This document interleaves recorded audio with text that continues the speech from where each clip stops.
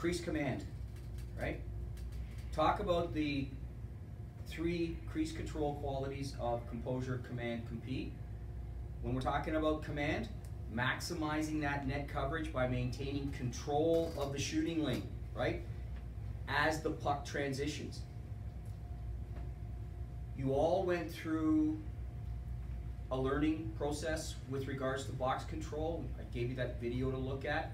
Most of us have talked about it, reviewed it together one-on-one. I want to make sure that you understand when I sat down with uh, Braden last week, I was able to kind of draw out this little thing here.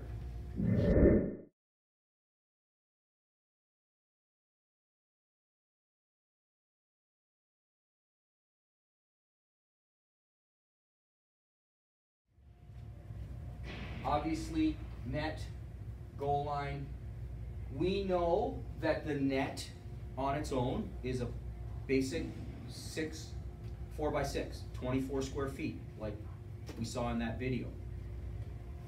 What the box control is, is the box size that the puck has access to in relation to where it's sitting. So what we have here is, is if your heels are just slightly in front, maybe four to six inches in front of the red line, right? You've now created a box size of approximately 22 feet. I didn't do any math on it, but it's kind of basic understanding that the more you you you move out towards the puck, right? The smaller the box area becomes. You see here where the puck is? We draw four lines that create a pyramid funnel. That pyramid funnel creates corners.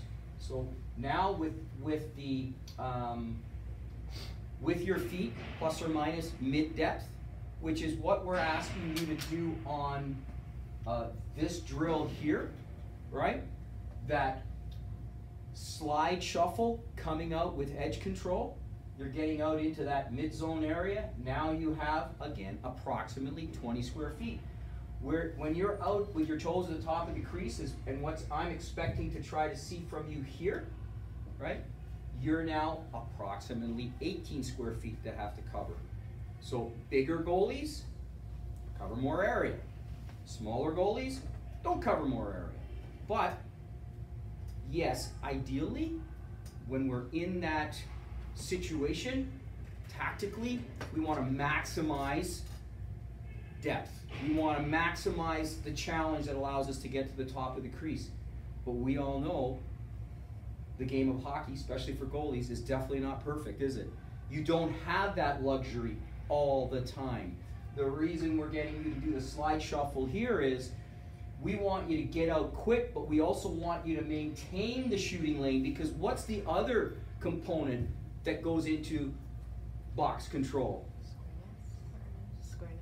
Center and square, often called the angle. Center and square.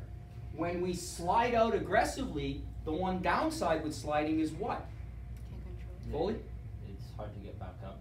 You're, you've limited your mobility. Uh, not so much, Purdue. You're still sliding. Yeah, you don't control the ice as well, right? So by introducing this tactic, that helps us a little bit more, right? So box size equals depth plus puck location. Now here's the interesting thing. We talked about command, maximizing net coverage that maintains control of the shooting lane as the puck transitions. So if we tee this up like a golf ball every time, easy peasy. We know exactly where we want to be. But the problem is, is as you can see with these drills, it's constantly moving, isn't it? So now, one of the things that we noticed, and you may have noticed in your videos that you got back, box control wasn't always there for you as you transitioned, right? Shuffling across sometimes, you're not center and square. Um, sometimes you've got not enough depth, sometimes you've got too much depth. Trying, you're trying to challenge way too much in that situation, and you can't establish the top of the crease or establish a stop position on the puck that allows you to be reactive. Okay? So, command or crease command, something that you want to be aware of.